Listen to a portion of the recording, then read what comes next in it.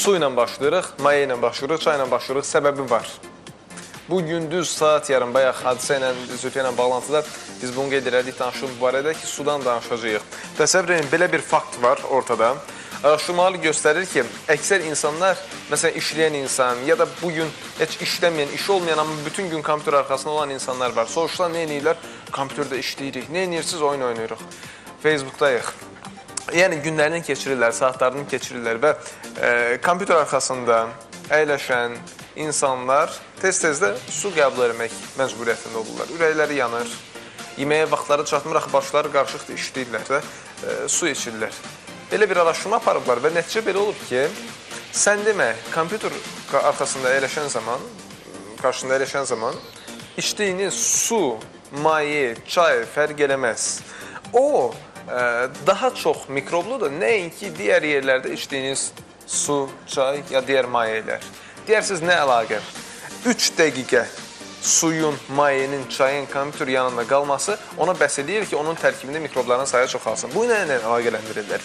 Deyirlər ki, kompüterdir, telefondur, gündəlik istifadə olunan və barmaq toxunan əşyalar var ki, onlar daim mikrob mənbəyidir.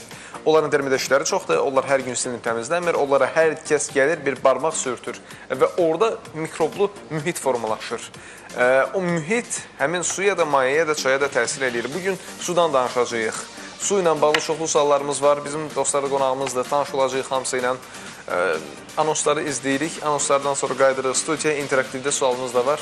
Onu da qoyacağıq və müzakirəmiz başlayacaq. Həkimlərimiz də olacaq birazdan.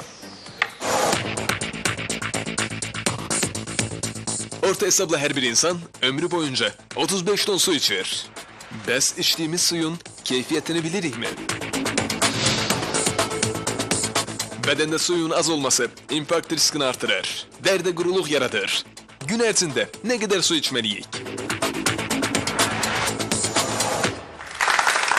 Gün ərzində nə qədər su içməliyik və hansı sudan içməliyik? Bu sualın cavabını biləcəyik. Son vaxtlarda belə bir müzakirə yarandı. Facebookda da insanlar bunu soruşurlar bir-birindən ki, yaxşı, e, kran suyu içək.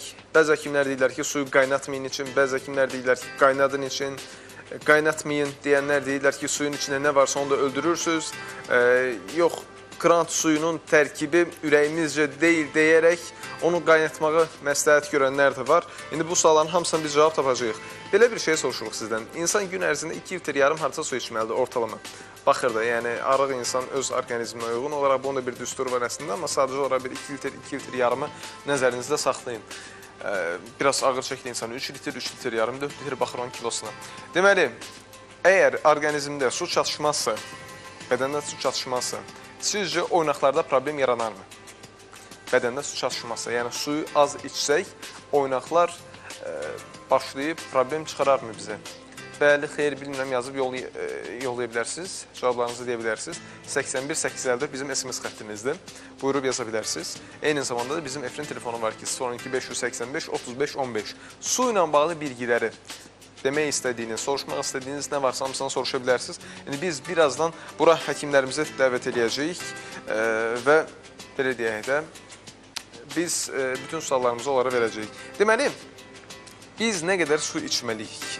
İnsan gündəlik keçirdiyi həyat tərzindən asılı olaraq müxtəlif formada maye qəbul edir və suyu nəyə görə çox içməliyik? Və xüsusən yay mövsümündə, isti fəsillərdə, qaça-qaçda insan suyu, orqanizmdə olan suyu başlayır itirməyə. Bunu tər formasında itirir, bunun heç özünün xəbəri olmur, buxarlanır, gedir. Bəzən insan müxtəlif xəstəliklərdən əziyyət çəkəndə ishal, qusma və s. formada bədəndəki mayəni itirir və nə olur? Mütləq olaraq insan su içməyə məcbur olur. Bunu ürəyi istəsə də, istəməsə də. Bəziləri deyirlər ki, yaxşı onda ürəyimiz istəmir, bəs nə edək? Ürəyiniz istəsə də, istəməsə də birmənalı olaraq mütəxəssislər bunu tövsiyə edirlər ki, gündəlik olaraq su norması var ki, onu qəbul etmək lazımdır. Bu hardasa bir insan orqanizmi üçün 2-2 litr yarım bax belə bir maye həcmi deməkdir. Bizim burada dostlarımız var, onlarla mən istəyirəm gəlin tanış olaq. Qardaş salam. Tural buradadır, Samir buradadır. Xoş gəlmisiniz. Qafqaz Resort Oteldən təşrif buyurublar. Qafqaz Resort Otelin Qəbələdə yerləşən Qafqaz Resortun əsl vaxtıdır. Yayda xüsusən qonaqlarınız bol olur. Bəli, bəli. Müraciət etmək istəyənlər tətil mövsümündən yararlanıb üz tuta bilərlər. Yeri gəlmişkən Qafqaz Resortun bütün kollektivinin rəhbərliyinə hər kəsə buradan təşəkkürümüzü bildiririk, salamlarımızı çatdırırıq. Burada müxtəlif mayələr var, içkilər var. E, qazlı varmı, qazlı yoxdur? Qazlı var, qazlı da var, siroplar qazlı var. Siroplar var. Şirələr var, süd var. Nə edəcəyik biz bu gün burada? Biz bu gün burada yay mövsümünə əlaqədar kokteyllər düzəldəcəyik. Adətən yay mövsümündə hansı kokteyllər, hansı içkilər belə deyək, məsləhəti sizcə? Yay mövsümündə adətən e, necə deyim, çeyləkli milkshake-dir, Təbii. təbii. Yəni kalorilidir, həm kalorilidir, həm yaxşıdır. Sonra Məsələn, bir e, bir dəfə biz e, bir turizm nümayəndəsi ilə müzakirə aparırdıq. Deyir, biz oteldə deyir səhər yeməyi təqdim edirik, açıq bufet deyir qoyuruq da. Hər kəs gəlir, istədiyi yeməyi, içkini götürür, istifadə edir. Deyir, bizimkilər gələn kimi hamı cumur nəyin üstünə? O peçenyelərdir, nə bilim kekslərdir, tortlardır, belə şeylərin üstünə. Xarici qonaq deyir, gələndə birinci üst tutur Meyvə təbii meyvələrin, meyvə şirələrinin, təbii meyvələrin, təbii nə varsa onların üzərinə gedir, üst tutur. Bizdə də siz də yəqin ki, bunu müşahidə edirsiniz. bəli, bəli. Ənənə pozaq indi. Yəni o çelə ilə nə edəcəyik? Çeyləklə çeyləkli milkshake düzəldəcəyik. Yəni e, 100 150 qram süd, 150 Süd. sü- 150 qram süd, 100 qram e, Yəni belə deyək də. İndi e, reklama çıxacaq, yarı yarımçı qalacaq söhbət. Reklama çıxaq, qaydan kimi o sütünə ilə qarışdırırıq, əlavə nə olacaq, nə olmayacaq deyərsə olar. Olar, əlbəttə. Təş təşəkkürlər uşaqlar. Çox sağ olun. E, Qısa reklam fasiləsi eləyirik. Bu ərəfədə mən sizə e, bir məsələni xəbər verim. Sabah burada studiyada Behelsidən, Gürcüstandan çox dəyərli mütəxəssislər olacaq. Bir çox problemi yaşayan insanlar bir çox problemlə üzləşən insan müraciət edə bilər. İndi biz siyahın deyəcəyik ki, hansı xəstəliklərdən danışacağıq, anonsumuz səslənəcək və ən əsası verilişdən dərhal sonra veriliş bitən kimi tam ödənişsiz müayinədə iştirak edə bilərsiniz. Qaynar xəttimiz var. 055 475 55 05. WhatsApp-na yaza bilərsiniz öz probleminiz barədə. Ətraflı məlumatı izləyək. Hərəkət orqanları, qan dövranı, sinir və endokrin sistemi xəstəlikləri, qida mübadiləsinin pozulması, allergiya, psoriaz, neyrodermit, ekzema, dazlaşma kimi problemlərdən əziyyət çəkənlər. Diqqətiniz, yaşamaq gözəldir də olsun. Bihelsi sağlamlıq və balneoloji sanatoriyanın peşəkar mütəxəssisləri, terapevt Vera Çeçilaşvili və professor Natalya Kakabadze iyunun 22-sində canlı efirimizdə qonaq olacaqlar.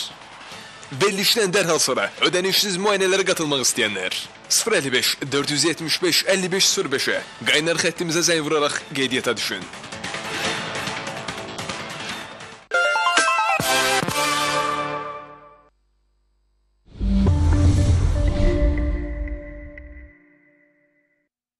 Yalnız Twix'in bütün sol çubuklarının yaxşıca xırçıldadığına əmin olduqdan sonra onların üzərinə karamel və şokolad süzür. Biz qonşu fabrikdə olmuşuq. Orada da Twixin sağ çubuğu elə bu cür hazırlanır. Burada isə karamel müntəzəm qarışdırılır ki, elə Twixin sağ çubuğunda da belədir. Twix hər ikisinin dadına bax və kimin tərəfində olduğunu seç. Twix al və hədiyyələr qazan. Əsas mükafat Şri Lankaya səyahət. Parlaq rəng mənim ehtirasım. Saçların göz qamaşdıran parıltısı mənim qürurum. Elsev boya eksperti boyamış saçların parlaqlıq müddətini uzadır, intensiv qidalandırır, günəşdə rəngin intensivliyini saxlayır və yulub axmasının qarşısını alır. Rəng yeni kimi 10 həftəyə qədər parlaq. Elsev boya eksperti L'Oreal Parisdən. Biz buna layiqik. Moni xalça yuma mərkəzində xalçaların yuyulması hər kvadrat metr üçün 2 manat. Adyal və sintifon yorğan 1 ədəd 10 manat. Divan kreslo dəsti 50 manat. Pərdə hər kiloqram üçün 4 manat. Tül hər metr üçün 2 manat. Telefonlar 012 409 15 15 409 20 20. Azərbaycanda qadınların 95 faizi Ariel'in keyfiyyətini sınayıb. Görək xaçmazdakı bu evin xanımı da Ariel keyfiyyətini seçəcəkmi?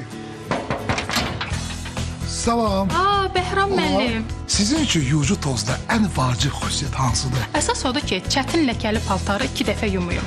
Həm vaxtıma, həm də puluma qənaət edir. Gəlin Ariel'lə yoxlayaq. Yoxlayaq, albalı ləkəsi. Ariel'lə paltarları iki dəfə yumağa ehtiyac yoxdur. Çünki bir yumadan ləkələri yox edir. Bir dəfə də yuyaq. Yox, lazım deyil. Ariel, bir yumadan heyran edici ləkə təmizlənməsi. P&G, keyfiyyət sərfəlidir.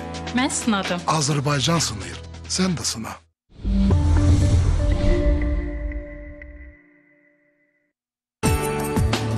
Rami Miqyaları ailəsi ilə barışmaq istəyinə qarşı tərəf necə afirəcək? Onu yenidən qəbul edəcəklərmi? Deyir ana, istədim ki, yol tapam, qaçam. Gördüm deyir, mənə də imkan vermədilər qaçmağa. Ramil işləməklə işi yoxdur, eləyəndə anasıdır. Həqiqət Ramil bacısı, onlar onu evdə gəlin kimi saxlamayıblar. Mən bir dənə mamamı istəyirəm.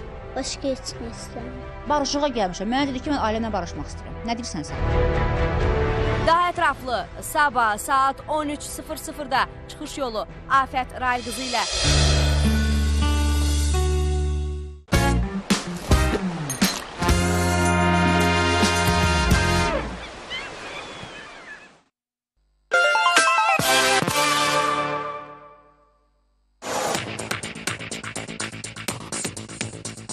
Bədəndə qanın 83%-i sudan ibarətdir. O həm də ağciyərimizdə qırmızı qan hüceyrələrinin işini artırır. Mütəxəssislər qocalmamaq üçün su içməyi tövsiyə edirlər.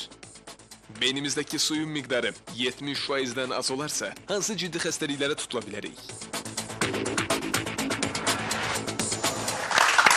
Və studiyada bugün növbəti qonağımız var. Kəmalə xanım, xoş gəldiniz. Hər vaxtınız xeyir. Çox sağ olun, təşəkkür edirəm dəvət üçün və fürsətdən istifadə edərək mənə verilən bu fürsətdən mən e, bildiyiniz kimi bu gün müsəlman aləmində böyük bir bayramdır, böyük bir aydır, müqəddəs aylardan biridir, Ramazan ayıdır və bütün müsəlmanlar qıldıqları o namazı, tutduqları orucu, etdiyi duaları Allah qəbul eləsin deyirəm və irəlidə gələn bayramlarını təbrik edirəm. İrəli illərdə yenə də Allah qismət eləsin bunları tutmağı.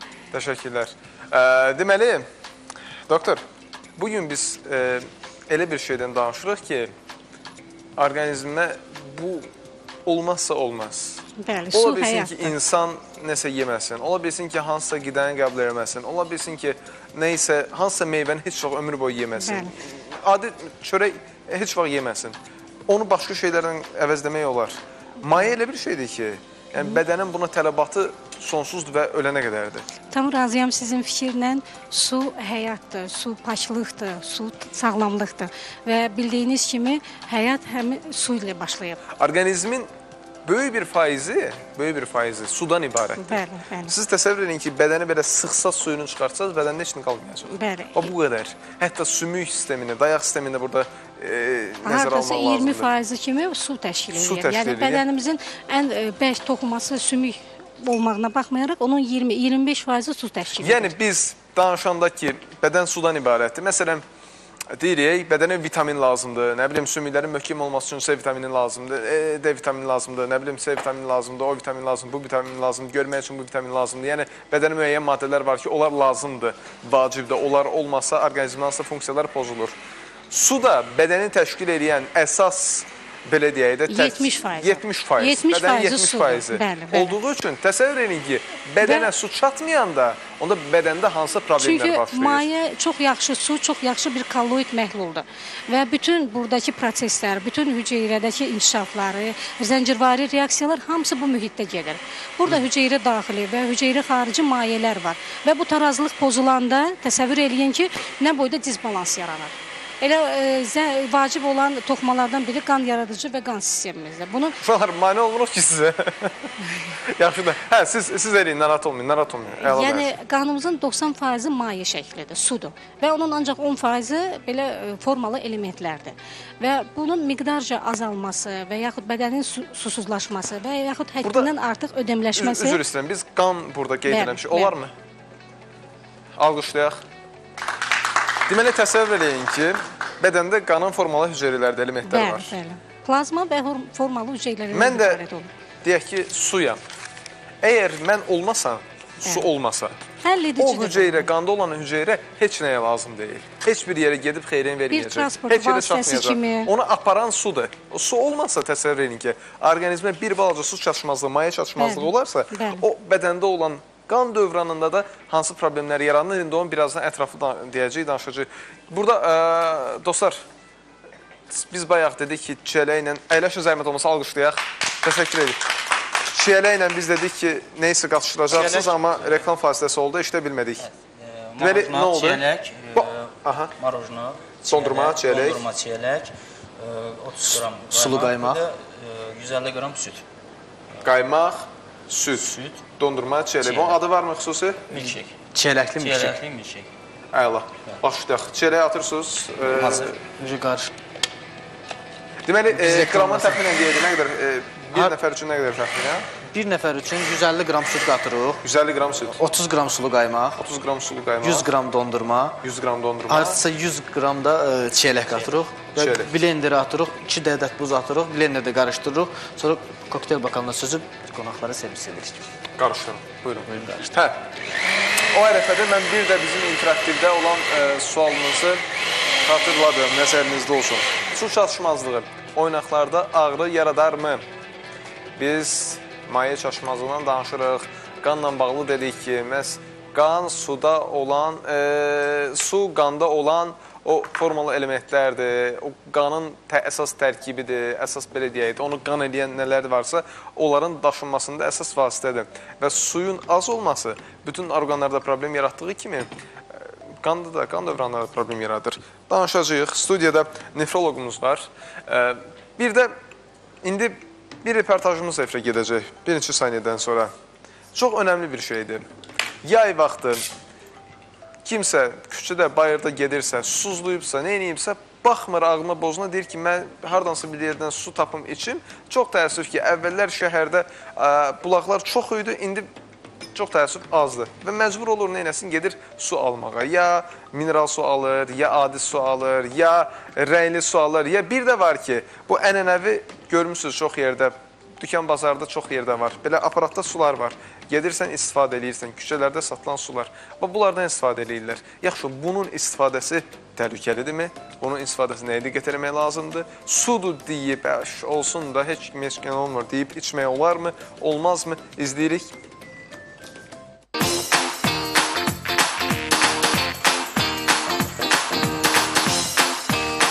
Yay aylarında çoxumuz susuzluğumuzu yatızdırmaq üçün müxtəlif rəngli sulardan istifadə edirik. Bu bizim həm susuzluğumuzu yatızdırır, həm də təbii ki, onun tərkibində olan meyvə dadı hardasa bizim xoşumuza gəlir. Ancaq içdiyimiz suyun tərkibi və mənbəyindən xəbərsizik.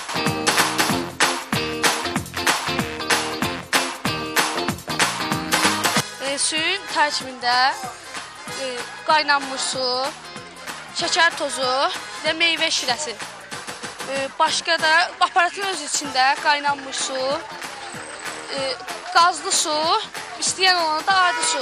Kimyəvi maddə, yəni qatqılı, başqa heç bir şey yoxdur. Belə şirin və ağzı dadlandıran suyu içən də var, içməyən də.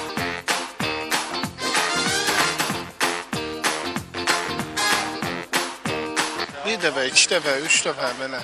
Hər belə yolum düşəndə içirəm də. Ürəyim yanır içirəm də, yaxşıdır, xoşuma gəlir. Xala o rəngli sulardan içirsən? Xeyr, içmirəm. Ona görə ki, hamısı e, e, maddəsi zadır, nə, nələr qatırlar ona görə. Sərinlik üçün öydə gül suyu ilə do- doşa bilirəm, komport eləyirəm. Özümüzün gözəl təbii sularımız var, klandımız var. O suları içmirəm. Nə uşaqlarıma, nə bələrimə qoymuram.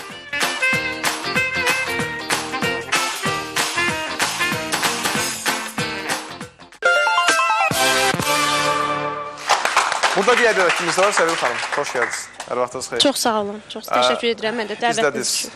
Bax, Bəli. e, bu məsələ ilə bağlı. Sizin ixtisasınız dezinfeksionist. Bəli. Bir var infeksionist, bir də var dezinfeksionist. Dezinfeksiya şöbəsi ilə. Sırf, Sırf dezinfeksiya. Bəli. Hə, deməli, indi sizdən bir şey soruşum. Bax, küçələrdə e, istifadə olunan, e, satışda olan belə sular. Aha. Polietilen qablarda satılan sular. Siz onlar deyə ola bilər. nəzərdə tutursunuz. O da ola bilər. Plasmas qablarda Məsələn, adi satılan. stəkanlar. Bax, adi indi, indi baxdığımız, aha. indi baxdığımız da var. Sular. Stəkanda Qazlı satılan. sular var, mineral sular. Yo, yo, yo, onları yox. Satılan, açıqda olub Satılan, sular. Süzür satılan verir, sular. kimsə içir qoyur. Süzür verir, kimsə içir qoyur. Onu da yuyanda belə götürdü, belə tərsinə ye- yudu və izlədiyi hal-hazırda. Əhməd də içdi. O Əhməddə nəsə olarmı? Düz buyurdunuz Murat müəllim. Əslində, e, yəni içmək üçün e, biz istifadə etməliyik. O sular siz e, o e, dediyimiz sular, qazlı sularda, açıq e, adi sularda gigiyenik cəhətdən, yəni bunlar təhlükəli hesab oluna bilər. Ancaq bunlar normativlərə cavab verirsə, gigiyenik normativlərə, yəni dövlət tərəfindən xüsusi lisenziya kağızı verilirsə, bunlara sertifikat Yox, onu- onu varsa, mən anladım. yəni bunlar içmək üçün yararlı hesab oluna Onu bilər. mən anladım. Belə ancaq açıqda olarsa düzdür. Onlar yəni e, hər hansısa bir mədə bağırsaq infeksiyanın yayılması üçün əlverişli şərait yaradır. Yəni, yəni şey belə suların içilməsi. Biz sizdən bir şey soruşum. Stəkanı bir dənə stəkan götürmək olar. Diləsə məni. Hə. Bax. Bunu mən götürdüm də, düzdür? Deyək ki, ə, küçədə su satan kimsə suyu süzdü, mən içdim. Bunu orada yaxaladı, nə elədi? Atdı bu tərəfə. Amma yaxaladı, su ilə yaxaladı. Sonra Məmməd gəldi. Məmməd gəldi yenə buradan suyu süzdü, bax belə. Suyu süzdü, içdi. Məndən Məmmədə keçməzmi? Yox. Yəni o belə, yəni siz dediyiniz qaydada o yoluxa bilməz. Ancaq o suyun tərkibi bilinmir ki, o su epidemioloji cəhətdən, e, yəni kimya bakterioloji cəhətdən təhlükəli sudurmu onun içməyi? Yoxsa belə hal siz dediyiniz halda o yoluxa bilməz. Su ilə hansı xəstəliklər Su ilə hansı xəstəliklər? Su ilə ancaq e, bağırsaq infeksiyaları, e, vəbadır, qarın yatalaqdır, bağırsaq infeksiyalarıdır, paratiflərdir, əsasən virus Məsələn, vərəm yoluxa bilərmi? Vərəm xəstəliyi, yəni bəli, su da əsas rol oynaya bilər vərəm xəstəliyinin yayılmasında. Ümumiyyətlə e, içdiyimiz suda hər hansı bir qurd qurd invaziyaları, liambiya sistalardır, askarit yumurtalardır. Qurdlar. Yəni bəli, qurdlar e, su vasitəsilə, hətta e, konjuktivitlər dediyimiz gözdə olan virus konjuktivləri, onlar da su vasitəsilə yoluxa bilər. Sudan, Aydın. çirkli sudan istifadə etdikdə, yəni e, belə hallar müşahidə oluna bilər. Ən çox e, bağırsaq infeksiyaları e, hansı halda düşə bilər orqanizmə? Əgər su, su mənbəyi hansısa bir kanalizasiya qarışmışsa o suya, onda həmin su təhlükəlidir. Yəni Aydındır. epidemioloji cəhətdən çirklənmiş hesab Aydındır. olunur. Danışacaq bunların hamısı barədə. Uşaqlar, ə, siz görürəm biri hazır elədiniz. Bu hazırdır. Çeyrəkli milkshake-imiz hazırdır ki, yəni qonaqlara təqdim edib içə bilərlər, dadına baxa bilərsiniz. Kim nuş eləmək istəyir? Qan içmək istəyir bunu. Gəl. Şöyle. Kimsə şəkər siropu. Amma deyin, həqiqətən belə ürəyi üzrədir ya yox? Nuş. Bravo. İndi nə edirsiniz burada? O nədir? Spicy limonad. Yəni Aha. acılı limonaddır. Bu spicy siropudur, xüsusi acılı siropdur. Bundan Aha. kokteyl düzəldəcək, qazlı su, Ona spicy. a, başqa nə əlavə verirsiniz? Buna limon e, limon siropudur, şəkər siropudur, Şəkər siropu. spice e, Onun sirop siropudur, siropu. Aha. nanədir 5 qram. e, Bir, də 1 dilim limon. Bir dilim limon. Bir Üzərinə də var. üzərinə də buz qoyandan sonra üzərinə qazlı su. Aydın, siz eləyin zəhmət olmasa. Hə. Kəmal xan. Limon limon. Ə, çox maraqlı bir şey var. Deyirlər ki, börəkdə adətən problem olanda ya da ki, kimsə lilli, məşə bilinməyən su içəndə çox təəssüf ki, bu gün də rayonlarda çox yerdə kranda açırsan lilli su gəlir. Bu deyirlər ki, "A, onu içmə, börəyində daş olar. O içdiyimiz su boğazdan keçən kimi birbaşa gedib börəkdə daş yaradırmı ya da dolayısıyla yolla həqiqətən də daş yaradırmı? Limonda Ümumiyyətlə. Hə, buzda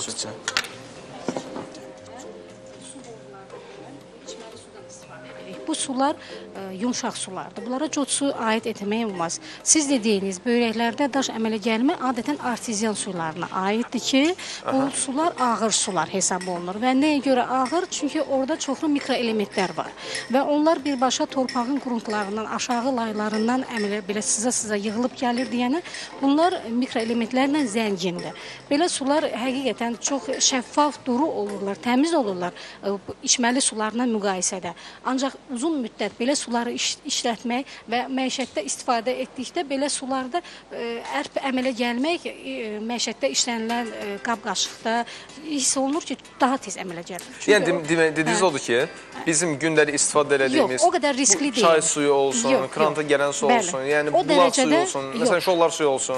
Yox, onlarda o dərəcədə yox, sadəcə düzdür. İrsi belə meyilliklər var ki, böyrək daşı xəstəliyinə əmələ gələn ə, olur. İnsanlar olur. Bunlarda mübadilə pozğunluğu, Böyrək problemidir? Bəli, bunlarda bir balaca təkan lazımdır ki, bu çöküntülər əmələ gəlsin. Bu ayrı. Amma sıravi normal adamlarda, yəni biz içməli sudan daimi istifadə etdikdə, adətən içməli suyumuz ə, normal olmalıdır. Yəni orada titrlər var. Onların orqanoleptik xüsusiyyətləri o. Su şəffaf olmalıdır. Sudan iyi gəlməməlidir.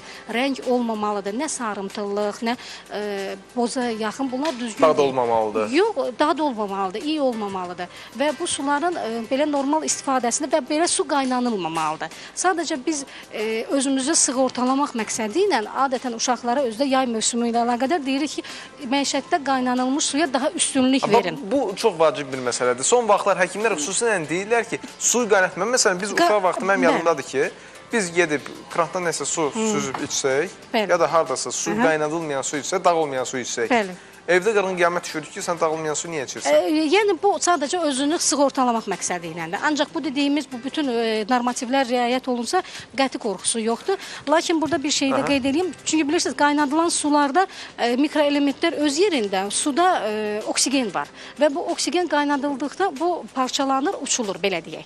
Və bu oksigensiz suda mikrob yaranmaq, mikrob düşüb və burada münbit şərait onun üçün kifayət eləyir ki, bu su qaynadılmış su uzun müddət eyni qablaşmada qalanda risk daha çoxdur. Deməli, Və- qaynadılmış suyu içmək olar. Olar. Problem deyil. Problem deyil, Amma yox. qaynadılmış su uzun müddət eyni, Eyni qabda qabda- qalarsa, Bəli, o suyun tərkibində mikroblar daha çox olacaq. Bəli, yaxşı olar ki, çünki orada olan oksigen yoxdur ki, bu mikrobları qırsın. Aydındır. İndi bir də məsələ var. Və bir məsələ... dənə də haşiyə Aha, çıxım. buyurun. E, Keçmişdən, yəni siz bilirsiniz, qabları gümüş qablar, e, suları gümüş qablarda saxlayırdılar.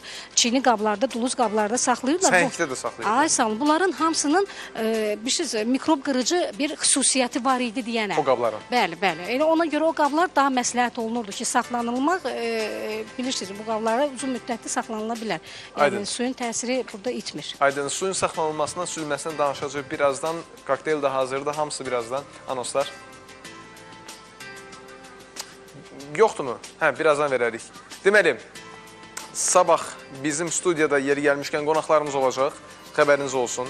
Kim müraciət eləmək istəsə, Gürcistanın gələn mütəxəssislərin qəbulunda olmaq istəsə, tam ödənişsiz müayinələrdən yararlanmaq istəsə, 055 475 55 05 bizim qaynar xəttimiz var ki, buranın WhatsApp-ına yaza bilərsiniz. Birazdan biz suyun ev şəraitində təmizlənməsindən danışacağıq.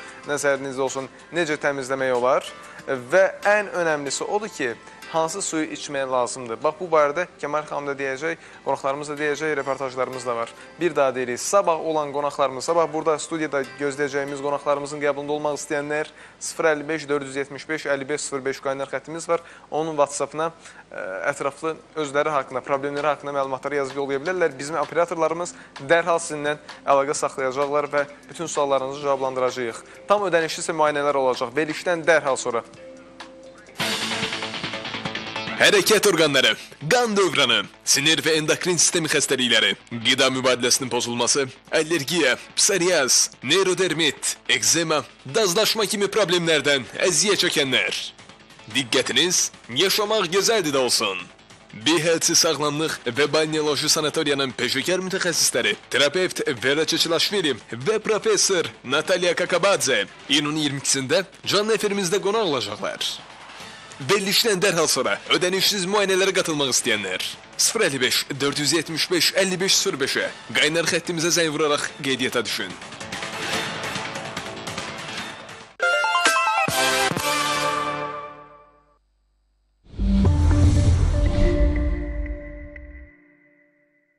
500 qram Nesquik kakao al və hədiyyə olaraq boyama stikərlə rəngli karandaşları əldə et. Bakının bütün supermarketlərində. 50-55 dərəcədə 200 ml süd, 2-3 çay qaşığı Nesquik kakao tozu. Kakao tozunu süddə tam həll olunana dək qarışdırın. Həzz alın. Nestle keyfiyyəti.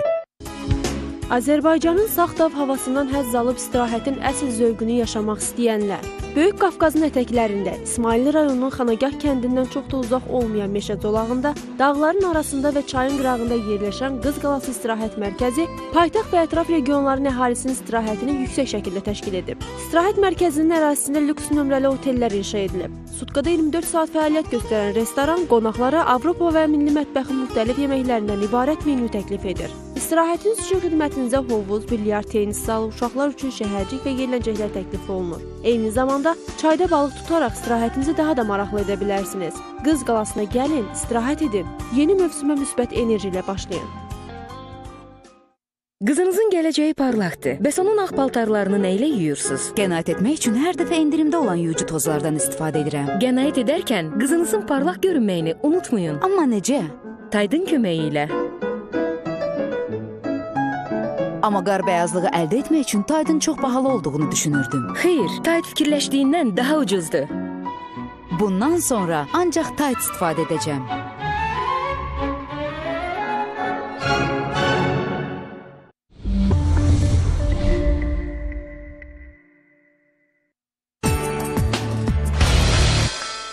E ha bu kimdir? Keçir bu. Fazlı buradır da. Eləmək lazımdır. Nuru göndərmişik ki, bunları nəzarətdə saxlayasın. Caroline! Aa, sağ ol abi, sağ ol, sağ duymuş arkamda.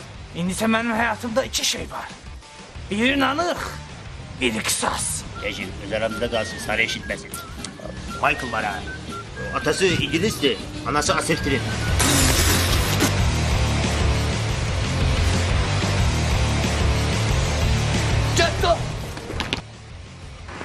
Da!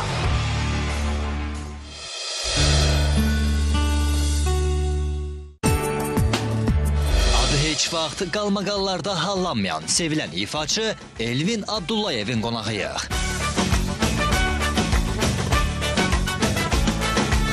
Hansı həmkarlarını savadsız müğənni hesab edir? Soruşmuşam ki, sən haranı bitirmisən? Bir oxumamışam. Bu da oxumamazlıqdan irəli gəlir. Savadsızlıqdan irəli gəlir. O kimləri bayağı ifaçı adlandırdı. Bir bayağı musiqidir, onu bir bayağı ifaçı çıxıb efirdə səsləndirir. Deyirsən, bu qulaqları tutuşursan, deyirsən, ay Allah, bu nə musiqidir? Qulağı tutub gedirsən. Bəstəkarlıqla da məşğul olan Elvindən şok açıqlama. Yaxşı mahnılarımı özüm ifa edirəm. Özün Ən yaxşı mahnılarımı. Pis mahnılarımı başqasına verir. Toyuna media nümayəndələrini buraxmayan həmkarlarına irad bildirdi. Medianı buraxmırlar. Birincisi mənə görə bu, nə, valla mən, mənə görə bu hörmətsizlikdir. Qısqanclıqdan söz düşəndə Qaqan əlli eləyir. Qaqan əlli eləyir. Bu bazar saat 11-də ev gördüdə.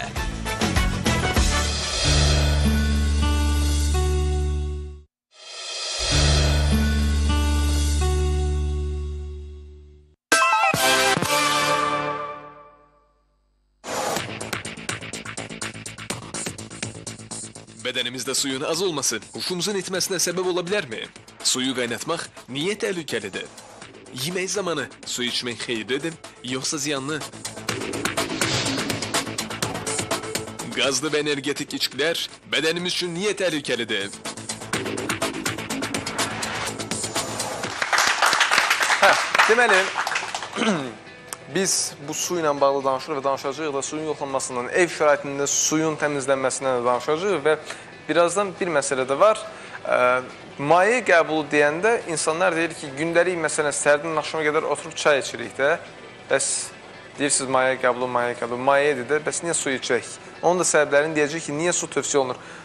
Dostlar burada o bir kokteyli hazır eləyiblər görürəm.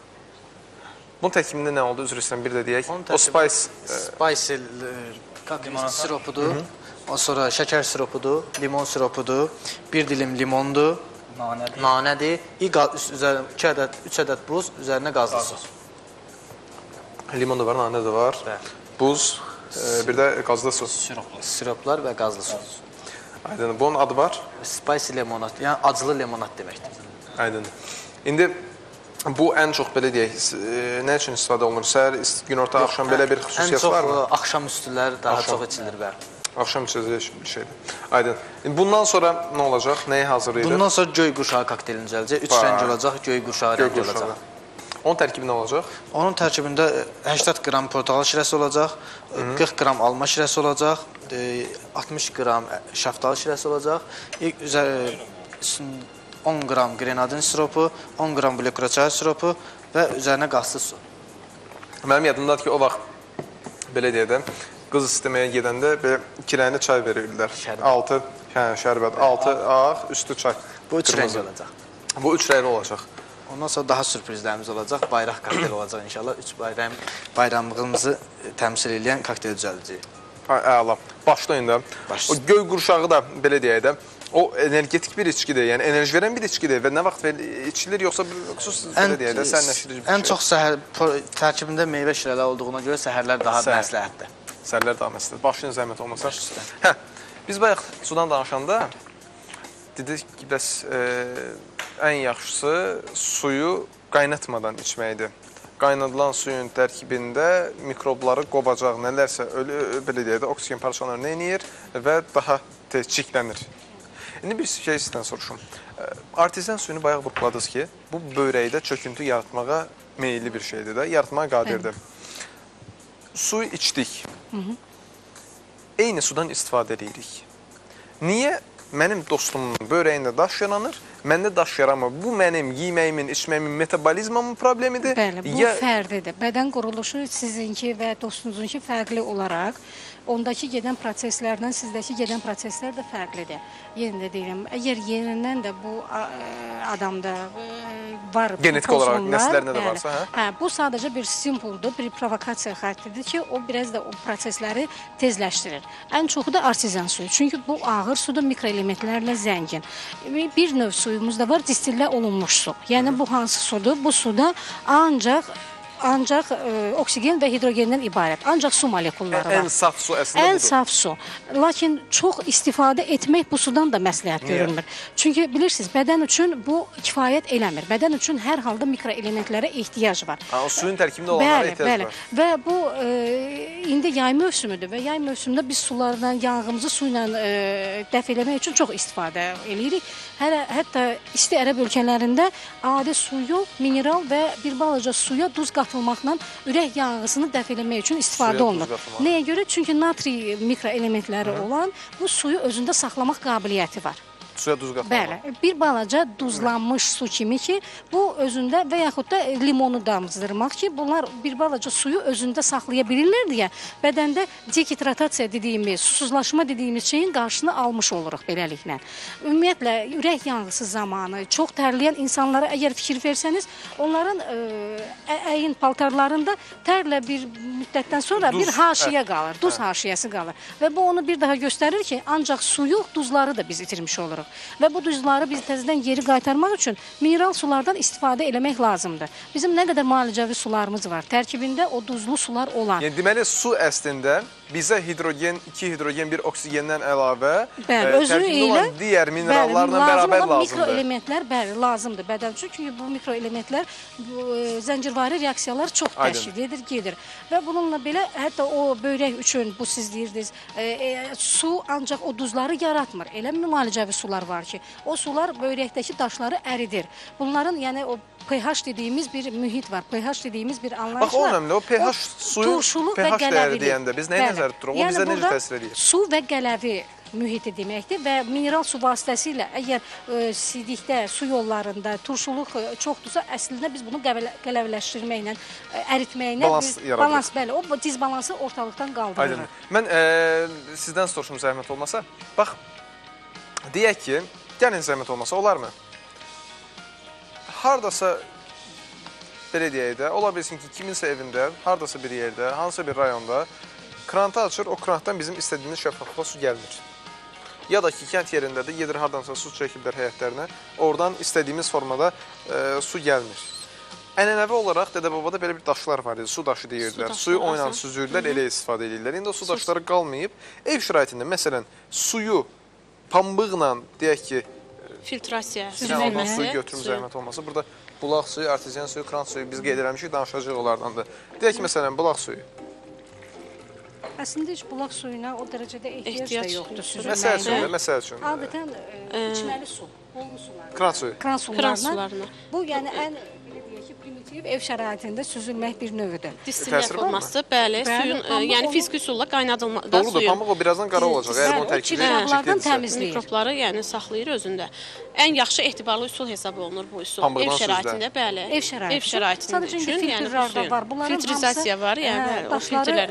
bir müddət müəyyəndən təmizlənmək, təzədən bir də yenilənmək şərti ilə, yəni çünki o çöküntülər dolur, o belə deyək ki, süzgəcləri dolur. Onu Aydın. dəyişdirmək ehtiyacı olduğundan su Yəni- nə çirkabdırsa tez tutular. Ona yəni uyğun tez-tez dəyişdirmək Bəli, şərti bəli, ilə. bəli. Aydındır. Bu o, belə deyək də, biz ev şəraitində bu suyun necə təmizlənməyini təxminən ə, sadaladıq, danışdıq. Bir də var ki, maraqlıdır ki, bu laborator şəraitdə suyu necə yoxlayırlar. Bunu da çəkmişik. Maraqlıdır ki, bu laboratoriyada su necə yoxlanılır, onun saflığı, tərkibi, təmizliyi, tərkibində hansı mineralların olması. Biz hal-hazırda laboratoriyadayıq və suyun e, kimyəvi analizini aparacağıq, onun codluq səviyyəsini təyin eləmək üçün. Bunun üçün bizə nə lazımdır? Bunun üçün bizə e, 50 milli e, adi su, 50 milli distillə olunmuş su lazımdır və onun üzərinə 5 milli amoniaklı bufer məhlulu qatırıq. E, bir qarışdırdıqdan sonra üzərinə 1-2 damcı qara xromogen məhlulu qatır- qatılır. Sonra isə 0,1 normal trilon B ilə titrlənir.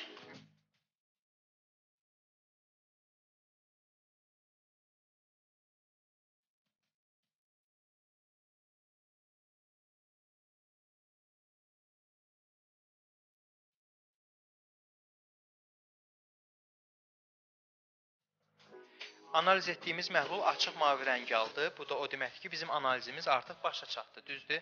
Burada nə nəticəyə gəlmək olar? Buradan o nəticə gəlir ki, suyun sərtliyi, zorluğu normaldır. Yəni istifadəyə tam yararlı. Tam yararlıdır.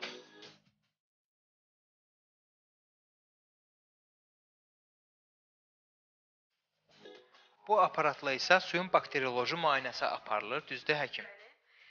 Sterilizasiya aparatıdır. Burada bütün deməli həm qidalı mühitlər, həm e, işlətdiyimiz bütün sınaq şüşələri, petri çaşkaları həmin aparatda sterilizasiya olunur. Sonra biz o ikinci mərhələyə başlayanda buradan steril aparatları götürüb bu stolun üstündə əməliyyatı davam etdiririk.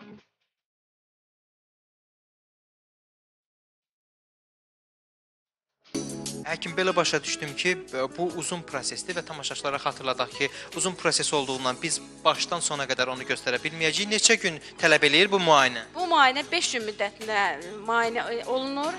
Hər hər 24 saatdan bir termostatdan götürülür, işlənilir. Son nəticə 5-ci gün e, nəticə təyin olunur və biz bu yazılı şəkildə veririk və e, bu nəticə aydın olur 5 gündən sonra.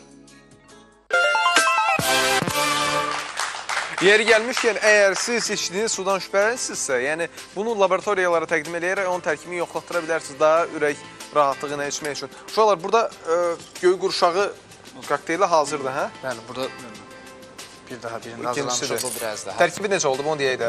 Tərkibində 80 qram portağal şirəsi oldu. Portağal şirəsi. 40 qram alma şirəsi, 60 qram e, e, şaftalı şirəsi, Aha. e, grenadin siropu, qazlı su. Bu bizim həkimlərimizin. Buyurun. Buyurun. Ə, indi bir dənə burada başqa nə hazırlayırıq? O üç rəngli olan. Gö- indi Azərbaycan bayrağının kokteylini hazırlayacağıq inşallah. Bravo, hazırlayaq. Başlayaq. Siz yavaş-yavaş başlayın. Hə. Ə,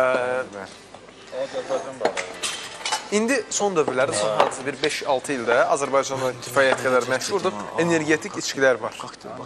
Bunu çox adam istifadə edir. Çox böyük yaralı yerimizdir. Bunu gecə növbəsində olanlar, yola çıxanlar, İdmançılar. sürücülər, idmançı, indi idmançılar, hə, idmançılar. Bəli, böyük da. bir qrup Çox elə- adam. Yəni adi heç Hə. nə, balcı-balcı uşaqları görürsən ki, əllərində energetik içki. Uşağın enerjisi yoxdur, onu içəcək biraz da adını çəkmədən burada xahiş edirəm. Hə. Energetik içki bədənə enerjimi verir, enerjinizi alırmı? Mən e, birinci nəzər yetirək o suların tərkibinə. Onlarda çox miqdarda kofein olur və ikinci tərəfdən də bilirsiniz, onlardan kimyəvi boyaqlardan çox kimyəvi tərkibidir, sırf başdan ayağa kimi. Bir dəfə, iki dəfə, beş dəfə istifadə eləməklə əlbəttə ki, elə bir nəticə görə bilmərik. Amma onlarda bir şey də yaranıb ki, özündən asılılıq yaratmaq ta ki xasiyyəti var. Hə, yəni bir dəfə O içdin, iki dəfə içdin, sonra Hə, və alışqanlıq öyrəşmə kimi alışqanlıq yaradır və e, cavan cavanlar nisbətən daha meyillidir və bir e, acınacaqlı nəticəni də deyim, hətta bu böyrək çatmamazlığına tutmuş gəlib çıxardan bir kişilərdir. Təsəvvür edin cavan oğlanlarda bəli, bu çünki onlar böyrək o yumaqçıq e, komplekslərində çöküntü yaradır və o böyrəyin süzmə fəaliyyətini dayandırır. Hətta belə. Aa. Yəni mütəmadi, daimi istifadəçilərə Mən adam tanıyıram gün ərzində bir 10 dənə banka ondan içirik. Yox, o sabahı bunun e, böyrəyində bir problem e, ucu gözlənilir. Yəni e, insanlar yəni bir balaca bunlara diqqət yanaşsınlar. Yəni yenə də deyirəm 3 dəfə, 5 dəfə ilə yox, amma siz deyən miqdarda gün ərzində belə şey. Görürsüz bu ucu asılılıqdır. Uşaqlar burada ener onlardan iç içən varmı? Xoşlayan varmı? Bizim cavanlarımız ağıllıdır. Xoşlayan var. Qardaş enerjiniz azdır. Yox, o sadəcə bəlkə Yox, gündə nə qədər içirsiniz? Üzr istəyirəm. Gündə bir banka içirsiniz. Birinci dəfə nə vaxt içmisiniz? Uşaq olanda. Yəni dadı O siz deyən Əslində bu alışqanlığı birinci yaradır. uşaq olanda deyəndə ki, günah uşaqda yox, valideyndədir ki, o dada öyrədir uşağı. Amma valideyn çox beləmir. Məktəbdə kimsə içir, uşaq da deyir ki, hə, Yəni mən də var onu alacağam, mən də yəni içəcəm. hardasa bir balaca valideyn nəzarəti ilə bilirəm ki, artıq olsa uşaq da Deməli, enerji içkilərinin davamlı içilməsi, Davamlı içilməsi, gündə bəli. məsələn 3 banka, 4 banka, Bəli, 5 bəli, banka sizin belə o dostunuz artıq onda özündə asıllıq yaradıb və onun böyrəyində gözlənir bu problemlər. Yəni nə qədər mümkün varsa, niyə bu qədər şərbətlərimiz var, bu qədər təbii e, kompotlar Axı siz orada içmək- bir şey qeyd edirsiniz. Yəni onları anlayırıq ki, onlar hamısı təbiidir, safdır, xeyirlidir, Bəli. zərərli deyil. Bəli. Amma amma onların tərkibində olan o alışqanlıq yaradan şeylər bəli. insanları özlərindən asılı olmayaraq buna ə, belə deyək, vadar edir. Gəlin zəhmət olmasa bir başqa şeydən danışacağıq. Biz burada üç su qoymuşuq. Krant suyu, arteziyan suyu, bulaq suyu. Ə, belə gözlə baxanda arteziyan suyu aralarında ən şəffaf görünür. şəffaf. Arteziyan suyunu görəndə adam yay vaxtı ürəyi su istəyəndə o istidə istəyir ki, onu belə deyək də vedrələrlə için. O dərəcədə şəffaf olur və adama içən anda ləzzət eləyir. Krant suyu var ki, evimizə gələn sudur. Şəhər yerlərində istəsək də, istəməsək də bundan günləri istifadə edirik, çayda istifadə edirik, su kimi istifadə edirik, yuyunuruq, nə edirik. Bir də var bulaq suyu kənd yerlərində istifadə olunur. Düzdür, e, bu Oğuz Qəbələ su kəməri çəkiləndən sonra Bakıda da şəhərdə də istifadə olunur. Amma yəni əsasən kənd yer, rayon yerlərində daha çox istifadə olunur. Bunların hansının içilməsi məsləhətdir? Tərkiblərinə görə. Tərkiblərinə görə mən yenə də dayanardım boru sularının üstünə, kran sularının üstünə. Çünki onlar həm nəzarətdən keçib, həm yumşaqdır, bədən onu rahat mənimsəyir, bədəndə ödümləşmə, belə hiperhidratasiya deyilən bir şey həzmə yaxşıdır. Təmizdirmi bəs? Bəli, təm, tərkibi, yəni kimyəvi bakterioloji e, yox, bulaq suyu ilə təmiz olun. Bulaq suları əslində yəni təmizdir, həm kimyəvi, bakterioloji cəhətdən yoxlanmasına görə. Amma bizim indi şəhərdə istifadə etdiyimiz sular Kran suları. Bəli, kran suları. Mən üzr istəyirəm. Bax bulaq suları deyirlər ki, bulaq hardan gəlir? Dağdan suxurların arasından formalaşır, sümbül gəlir. Amma eyni zamanda onu vurğulayırlar ki, o suxurlarda nə qədər ola bilsin ki, mikrobdur, bakteriyadır, nədir, nədir. Onlar da varsa, onları da tərkibinə alır, elə gəlir.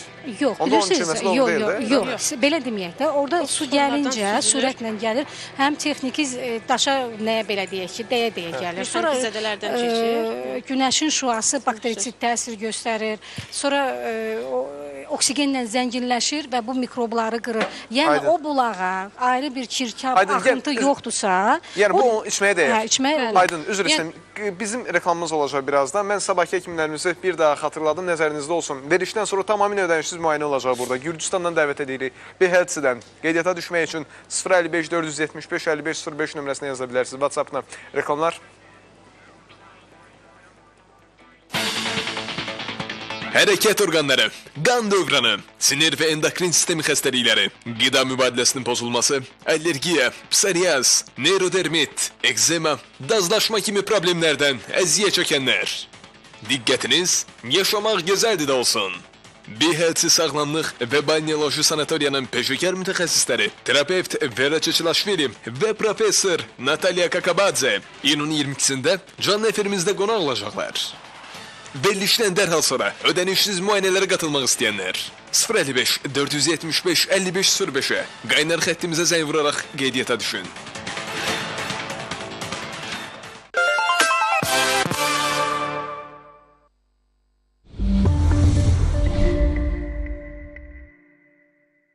Moni Xalça Yuma Mərkəzində